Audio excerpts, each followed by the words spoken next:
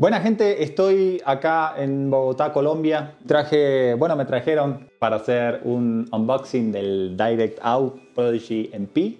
Así que ahora se los voy a mostrar y les voy a comentar un poquito en líneas generales qué es lo que trae, para qué puede servir. Y eh, vamos a ver también algunas conexiones con Yamaha, por Dante.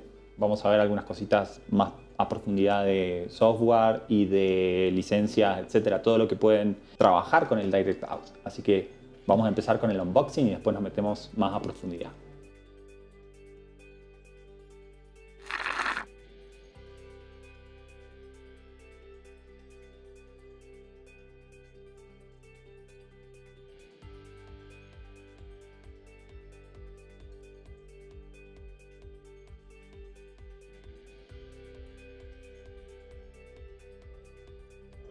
Bueno, quiero agradecer primero a Yamaki que es el distribuidor oficial de Direct Out en Colombia, y a Jafet Salazar, que es el desarrollador de mercado de Direct Out. Bueno, por acá trae su fuente que es redundante, Power Supply redundante, con un seguro bastante particular. Está muy buena, bien seguro. Pero la redundancia es por si falla la corriente, ¿no? A donde te conectaste. Eh, se fue y sigue el otro y no se te va nada. Esta es la marca. Direct Out Prodigy MP es el equipo que vamos a ver hoy. Bien, es una marca alemana y básicamente es un conversor de protocolos, de distintos protocolos, pero de audio. Nada de video ni nada de otras cosas. Viene con, con chocolatitos también. Nada, mentira, esto es, esto es para mí, para Jafid. Gracias, Yamaki. Y acá está el equipo. Vamos a ver, voy a correr esto.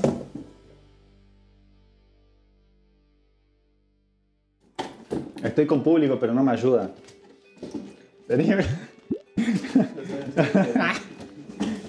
bueno, por acá está el equipo. El equipo está increíble. Yo lo estuve viendo ayer. Jafid me dio un training ahí rapidito.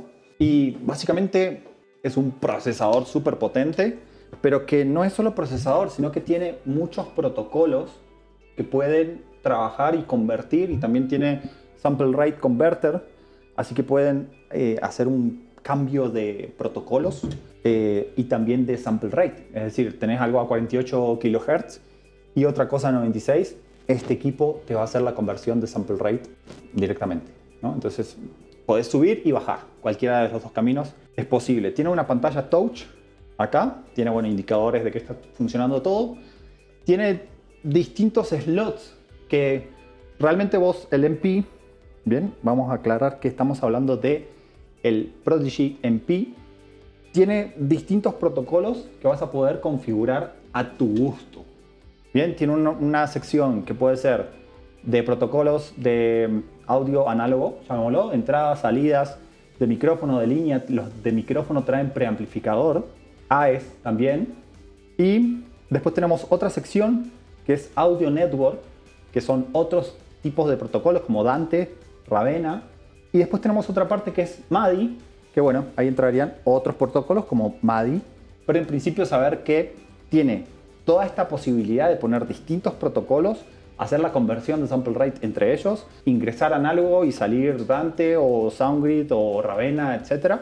Y tiene tres bloques, o sea que no, puedes, no podrías usar más de dos tarjetas Dante porque en estos otros slots funciona de otra manera. Bien, después lo vemos a detalle, como les dije. Dos fuentes eh, Power Supply redundante. Bueno, como les decía hace un ratito, la pantalla es touch. Lo pueden controlar desde acá, pero también tiene un software gratuito que es Glowcom, que lo pueden descargar de la página web de Direct Out y funciona para Mac y para Windows. Bueno, este equipo tiene procesamiento interno, es decir, que puedes poner procesadores dinámicos, puedes poner filtros, trae filtros FIR, trae varias cantidad de procesamiento que vas a poder utilizar para poder procesar todas las señales que vos trabajes acá.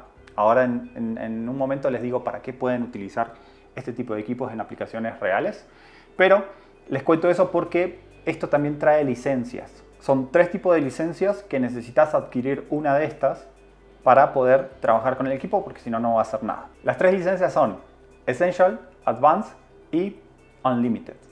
Cada cual, ahora vemos un poquito más a detalle qué traen, pero bueno, traen, obviamente una traen más cosas que otras, más procesamientos, más cosas para hacer.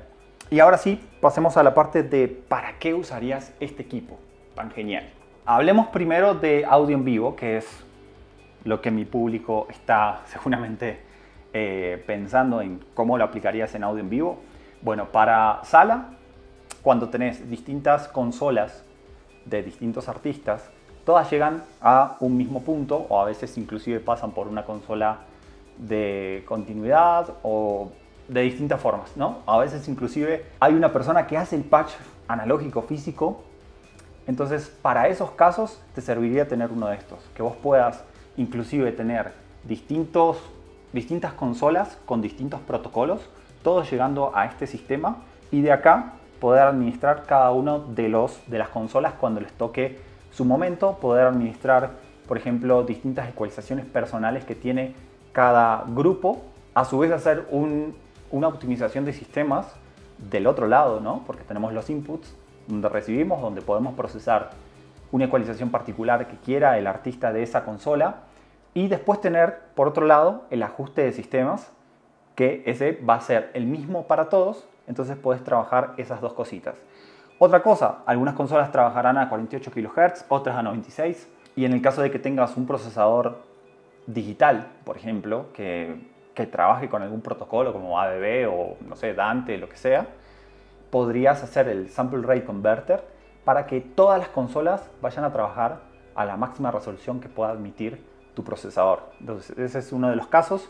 Para monitores, em, vienen buenísimo también porque podrías hacer lo mismo en la misma situación, varios artistas con sistemas de in donde se comparten, en vez de estar haciendo un pacheo analógico, cambiando mangueras, etcétera, lo que podrías es tener todos los sistemas conectados y directamente desde acá hacer el patch con distintas snapshots, que también tiene Snapshot, también tiene un software donde vos podés hacer distintas escenas, distintas capas y tener seteado ya para que llamar una escena, llamar el otro snapshot y que automáticamente haga el cambio.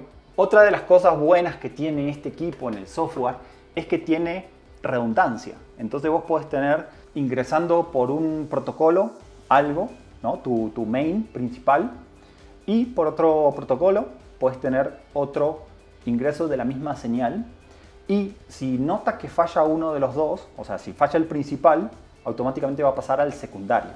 Y por último también lo van a poder usar para broadcast. Para broadcast este equipo viene muy bien porque en broadcast normalmente también tienen distintos tipos de protocolos y que es el estudio 1, el estudio 2, el estudio 3, eh, el remoto, ¿no? todas las, cosas que tienen por distintas secciones. De pronto trabajan en distintos protocolos, entonces acá podés llegar con todo y de acá puedes administrar todas tus señales y hacer los, los sample rate converter, hacer la conversión entre protocolos y poder enviar y recibir cosas de todos tus sistemas que tengas en cualquiera de tus estudios.